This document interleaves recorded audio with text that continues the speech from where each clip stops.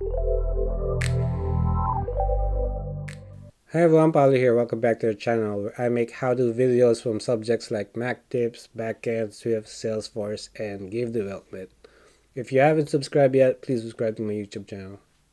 In this video, we're going to learn how to add SSH private keys to the SSH agent, plus how it has changed with Mac OS Monterey and up, and how to load more than one key automatically using a config file. And also talk a little bit about how the SSH agent works. Let's get into it. So first, let me open up the Finder using Spotlight. And then go to the main user directory. So we want to expose the hidden files here. To expose the hidden files, keyboard shortcut is to hit Command Shift dot, and that should expose that. And here, go under the SSH folder, and it should expose all the uh, keys that you have in your system. So I have multiple keys here with different encryption types.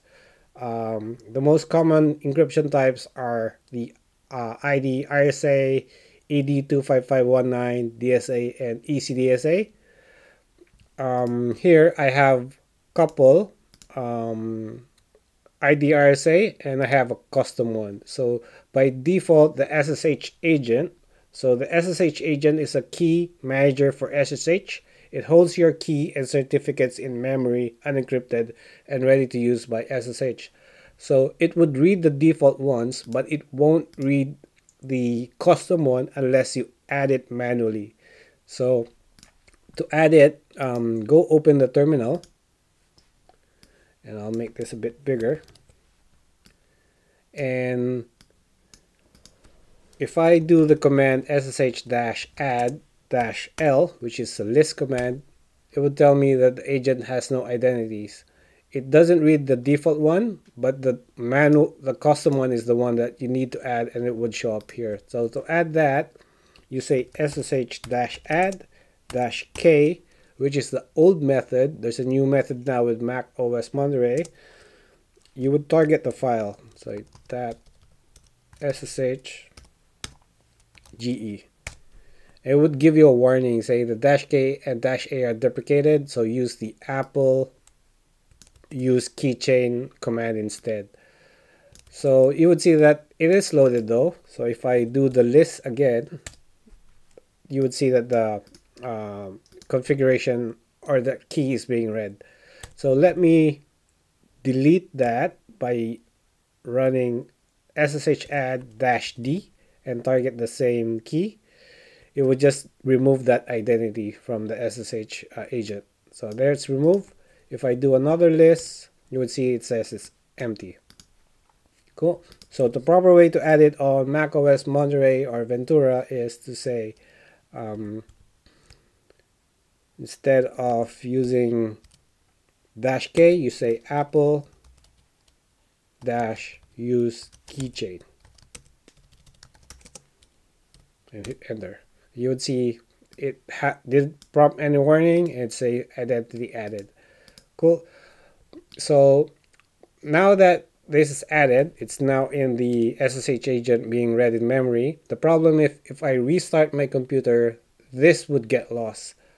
I need to go back and add it again. So the proper way to do this is to actually create a config file which would allow you to create um, add more than one key if needed so let me remove this first by using that dash D command and show you what I mean. So now it's empty again. I have a directory here which I'm using for version control on Bitbucket. So in this directory, I have um, Git repository, lo local Git repository. I'm going to open the terminal from this directory.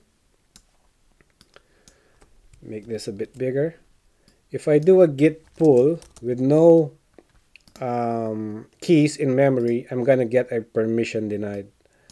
So to fix this, I'm going back here to my SSH folder. I'm going to use the touch command and create a config file. So you see there a config file got created. I'm going to run sudo v config and type in your admin password and you're gonna get a blank slate here hit the I key to start inserting and I'm just gonna paste my config here. So the config is host bitbucket.org. Add keys to agent is the important key here. Just say yes. If you're using passphrase, say yes. And here for the identifier, just target that custom key that you just created. So hit escape and then colon X exclamation mark to write down to the file. Now, if I go back here to where I have a local repo initialized, if I do a git pull,